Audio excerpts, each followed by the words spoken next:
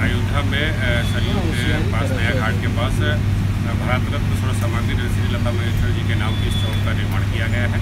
इसमें प्रतीक के रूप में संगीत की वीणा का यहाँ पे स्थापना भी इंस्टॉलेशन हो रहा है। और ये हमारा कार्य अगले तीन से चार दिन में पूरी तरह से बन करके तैयार हो बिल्कुल ये एक अयोध्या जैसे पावन नगरी में और चूँकि स्वर्ण सामग्री लता मंगेशकर जी रही है और भारत रत्न भी रही है तो उनकी याद में बनाया गया है तो निश्चित रूप से ये बहुत एक प्रथम उदाहरण पेश करेगा और लोगों के लिए एक बहुत अच्छा